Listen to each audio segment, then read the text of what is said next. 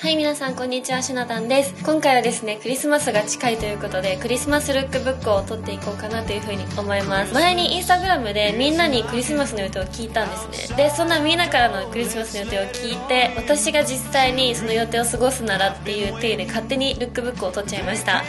前にも勝手にルックブックやったんですけれども、それ結構好評だったので、今回クリスマスバージョンでやっていこうと思います。まず1コーデ目がですね、友達とコテージでクリスマスパーティーっていうめちゃくちゃ素敵な予定をいただきまして、私がそんなクリスマスを過ごすなら、こんなコーデを組むかなと思います。コテージってちょっとこう寒いイメージがあったので、結構防寒とかはしっかりやっていきたいなと思って、このほかほかのニットと、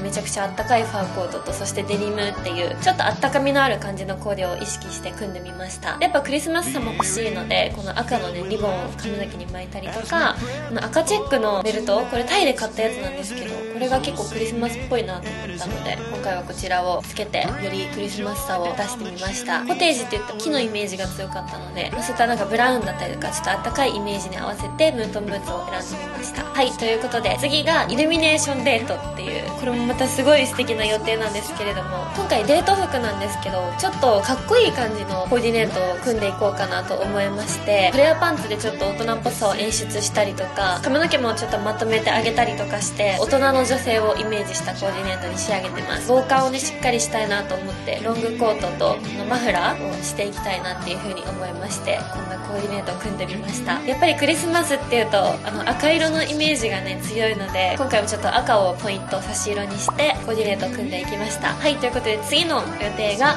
お家でホームアローン見ながらお菓子パーティーします。一人だけどっていう。これもねいいですよね。楽しそう。ホームアローン見るっていう方結構ね他にも多かったんですけどお家でまったりっていう風なコーディネートがいいなって思ったのでこのアベマのセットアップこれが赤色でやっぱクリスマスっぽいなと思ったのとすごいラフだしお気に入りのものを着て気分を上げたいなと思ったので私このセットアップ結構好きなので今回はこちらを着てみました。でこのスリッパもねすごい可愛くて気に入ってて狐が雪だるまになってマフラーとかしてるんですけどすごい可愛くてでしかもあったかくてめちゃくちゃ最近履いてるんですけど、まあ、それもちょっと合わせてコーディネートしてみました。はい。では次の予定がドレスコードブラックシルバーで女子会っていうこれもめっちゃ楽しそういいですよね。ドレスコード私も今回クリスマス決めたんですよ。友達と過ごすんですけど今回もブラックとシルバーっていうことでその2色を使ってコーディネート組んでいきました。やっぱ女子会だからちょっとこう攻めたというか海外チックなコーディネートにしてみました。このシルバーのミニドレスなんですけど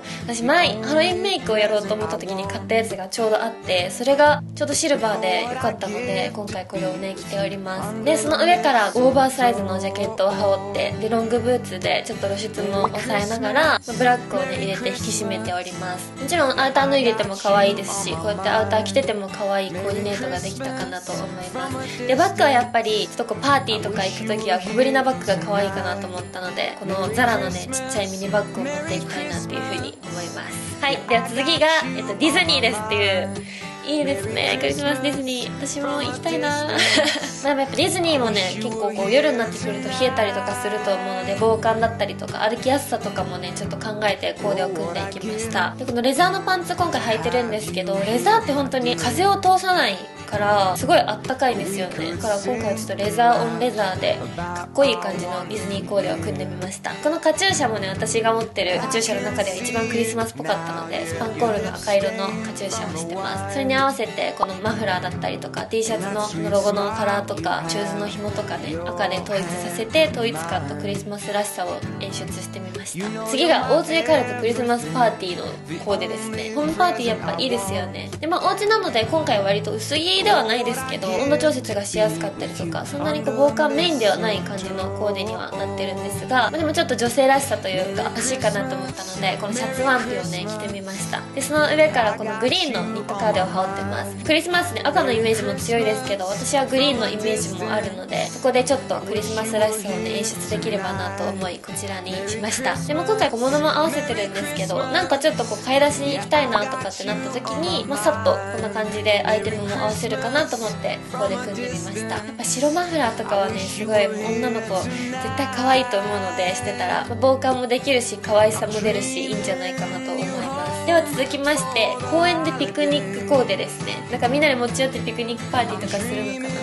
いいな楽しそう。公園のピクニックコーデこんな感じです。やっぱ公園ということでちょっとカジュアルな感じがいいかなと思って今回デニムスカートを合わせてます。合わせ方的にはスウェットにデニムっていう感じで結構シンプルなんですけど、こういったスリットとかが入ってることで特別感とかもね出るかなと思ってクリスマスとかにもいいんじゃないかなと思いこちらにしました。で今回も赤をねところどころ差し色で入れたりとかして私あとクリスマスってレザーのイメージも強かったので今回アウターはレザーのジャケットを羽織ってみました。では次がイルミネーションを見てカジュアルディナーを食べに行く予定ですっていう素敵なプランの、予定なんですけれども本当に私もね実際に行くような気分でコーディネート組んでいきました。さっきもイルミネーションコーデっていうのあったと思うんですがレザーのロングコートにマフラーをして防寒をしっかりとしつつせっかくねクリスマスにディナー行くならちょっと特別感も欲しいなということでこのストライプのロングワンピースを選びました。大ぶりな柄というかインパクトのある柄とかってやっぱりこういうイベントごととかすごい可愛いかなって思ったので今回はこのワンピを選んでます。まあでも全然なんかモノトーンで揃ってるしその派手すぎるわけでもないと思うのでカジュアルディナーとかにもいいんじゃないかなと思ってこちらのコーディネートを選びました。では次がクリスマスマーケットコーデですね。